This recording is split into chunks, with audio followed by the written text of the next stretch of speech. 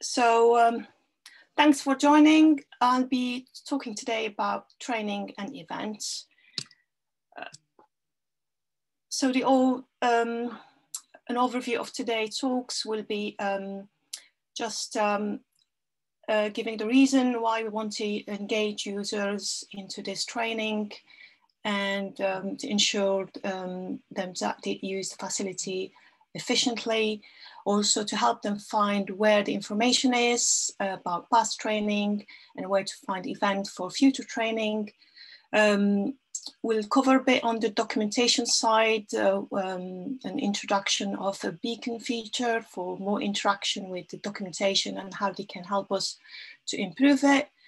Um, and also on the help desk support. And uh, finally, I'll just um, show a list of future and training events for end of this year and next year. So what is a JASMIN user support? The JASMIN user support here covers different areas from help desk to docs um, to um, training. Sorry, that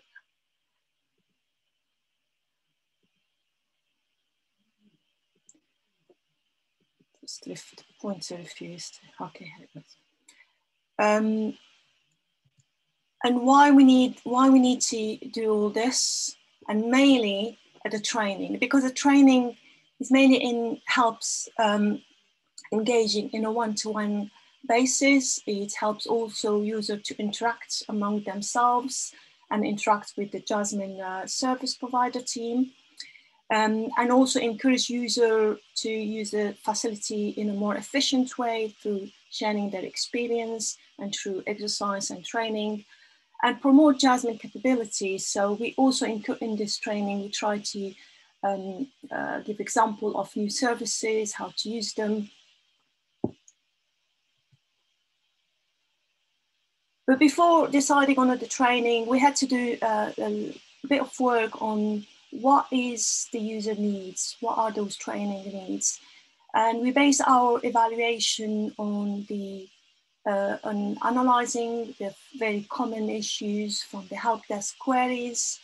We looked at uh, the, uh, the results that we collected from um, a survey that was run in 2017. We also looked at the feedback that users uh, uh, were participants of the past uh, few JASMIN user conferences events. And finally, we looked at how the documentation has been used from some statistics on top article or category section, also some popular searches keywords. And we came up with a plan of running several training and that can of different um, uh, on different uh, aspects could be webinars uh, to hands-on and this slide summarizes um, um, the past training and events. So we started in uh, 2016, 2017, we ran the first two uh, user conferences on JASMIN. And the format of that event had, um, had um, a day or half a day training workshop and from then, uh, which was really, really uh, uh, welcomed and um, encouraged us to think about having a proper workshop day uh, where it has more of a hands-on and practical uh, exercise. So we started um, the first um, uh, workshop in 2019, but before that we did run a few webinars um, on different aspects of the uh, services. And then, um, sorry, I think the first conference uh, works, workshop was uh, in 2019, actually, it was a hands-on workshop. And we tried, when we developed the material for this workshop, it's based on a, a series of exercise uh, which cover from um, beginner to um, more to advanced intermediate to more advanced uh, um, users. And uh, 2020, we, we, we, as we speak now, we're having the first uh, JASMIN online event today. And we did have, we did run some uh, a, a webinar um, in May and uh, another workshop hands-on one uh, at the Met Office this year. So where to find the material? So the, all the material, um, including the presentation, the poster, and the conference program are available on, on, on here for the conference 2018, 16, and uh, 17. And as I said, uh, those events had a half a day uh, training session and all the training plus the demo are, are available uh, online um, through this um, uh, radio button. So you can click and you can access the video recording as well as the presentation. And also I would just point here that um, the conference program is also if, um, uh, useful to have uh, to have a look at what how JASMIN has been used, how JASMIN has helped uh, different projects from different communities, and also it's a way to explore the uh, the uh, the, um, capability of JASMIN and also uh, share knowledge with others. And I just mentioned here there has we had we had some people who the way they came to us was from from the looking at the JASMIN program, which is quite fascinating that the JASMIN program, they looked at the presentation, they find, yeah, this fits our needs, and we, we, we they contacted us, and they are now as, uh, as our, uh, um, uh, among our users. So the, um, so this is, this is just a screenshot of what's presented on the JASMIN uh, um, conference program page. So for the webinar and, uh, and, the workshop, everything is available here as it shows on the slides. So the recording um, and the presentation are available. And uh, on this website, which is uh, wwc.ac.uk events, and it's um, compromise all all event, all past events with the with the associated material, as well as the future event. So we encourage users to watch to for future events to watch this, this space, and if they need access to material, to go to the past event and select. There's a selection of all e event that we run uh, in the um, in the past.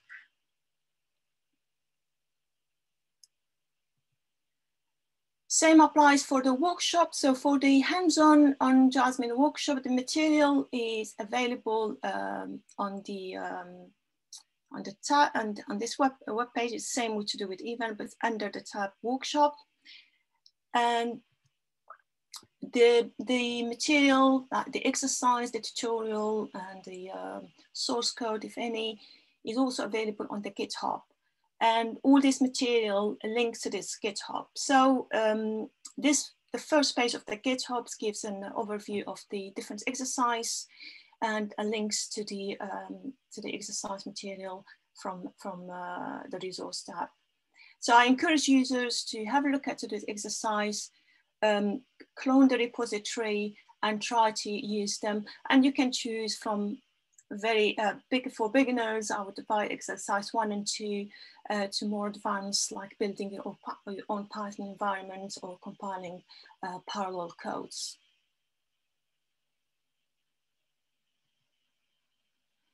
For the documentation, we it's uh, constantly in improvements and we are constantly adding uh, documentation for new services and how to use them and we constantly structuring the documentation as we look at the statistics report on how how uh, article has been used, uh, how article how many times article been viewed, and also to make an easy way for user to navigate from one topic to the other in, in, in the articles.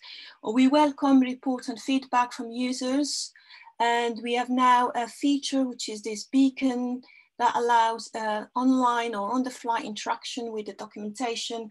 So we encourage you if there is any, any incompleted information or any detail that need to be added or any of your feedback to get in touch with us through this beacon.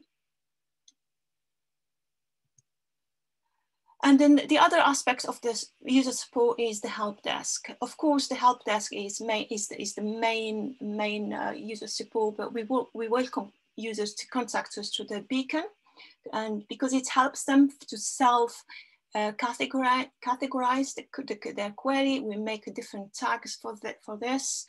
And also we want to, in, in, in, descri in describing the issue, we really want to have a concise description that will save us time and effort into uh, engaging in a thread of conversation.